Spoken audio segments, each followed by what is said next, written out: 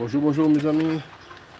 Ben, on a vu comment remplacer la crémaillère, comment, comment la descendre, comment la démonter, mais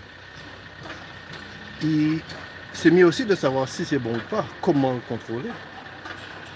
J'ai oublié de vous dire comment contrôler la crémaillère. Ben, c'est pas difficile. Un tout petit direct. Hein. Bon, j'ai pas de caméra. J'ai plus de GoPro, c'est pour ça. Hein. Alors, j'ai zappé de vous montrer comment, comment contrôler la crémaillère, quoi, en fait. Donc, avant de, la remplacer, vous mieux savoir si c'est à remplacer ou pas.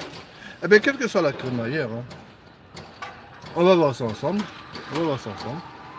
Donc, euh, nous sommes déjà sur le chantier. À partir du moment où vous avez une crémaillère, vous avez le volant qui vous avez une direction qui prend par cran et que vous avez euh, donc vous avez plus de liquide, vous avez la direction qui est super dure. Bon, dans un premier temps, vous avez un souci, vous perdez de l'huile et vous faut chercher où ça, où? Alors c'est soit au niveau de la pompe et électrolyte, on appelle ça, électrolyte, soit au niveau de la crémaillère, comme ici, qu'est-ce qu'on peut voir? Qu'est-ce qu'on a comme indice?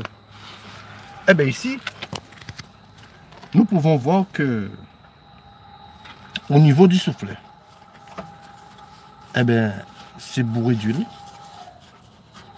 C'est bourré d'huile, rempli d'huile. Et partout sur le triangle, il y a de l'huile. Il y a de l'huile ici aussi là-bas. À partir du moment où l'huile sort par là, ben vous avez un souci au niveau de la crémaillère. Donc, euh, et vous faites pareil de l'autre côté. Eh bien, vous pouvez voir que au moins, au moins le, les billettes de direction. Ah oui, c'est en bon état. C'est très dur. Regardez bien, vous faites ça et regardez l'huile. Toutes les pièces se baignent dans l'huile. Dans l'huile. Donc, euh, et partout sur le triangle. À partir du moment où vous voyez ça, et pas de fuite vers le haut, de toute façon, quand vous voyez ça de deux côtés, du moment l'huile, du moment où vous avez de l'huile, parce qu'en fait le soufflet n'a pas d'huile, ni de graisse, rien du tout. C'est juste une protection anti-poussière. Justement pour que ça puisse pas s'abîmer prématurément. Mais du moment où vous avez de l'huile qui sort, ah, ça, vous avez vous avez la crémaillère à remplacer parce que ça sort euh, ben oui, des deux extrémités de la crémaillère. Ça vient de là. Donc, euh, et là, à partir de là, vous avez la direction super dure que vous n'arrivez pas à... Et ça fait un bruit parce que la pompe travaille. Ça fait un bruit infernal, un, bruit, mais... Parce que la pompe tourne à vide, en fait. Alors, c'est tout simplement à remplacer.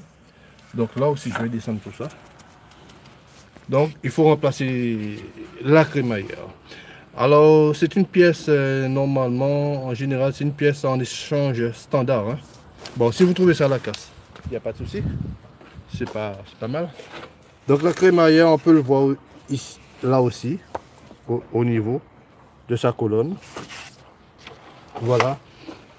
Et au niveau, et au niveau du, du liquide, l'huile, c'est en bas